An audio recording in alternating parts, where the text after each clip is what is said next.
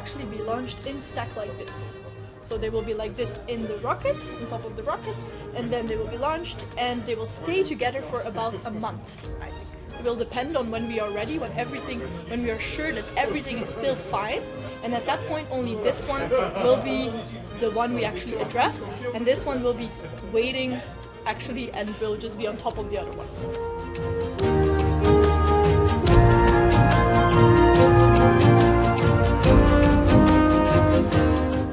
Data from uh, Proba-3 is going to provide key information and new uh, knowledge on um, this, this, uh, the sun's corona and also phenomena like coronal mass ejections as they, they form and they move out into uh, interplanetary space. Um, these are some of the key phenomena that uh, form part of what we call space weather. Uh, and so space weather coronal mass ejections have a possibility to impact uh, our li- life and activities here on Earth. Bye.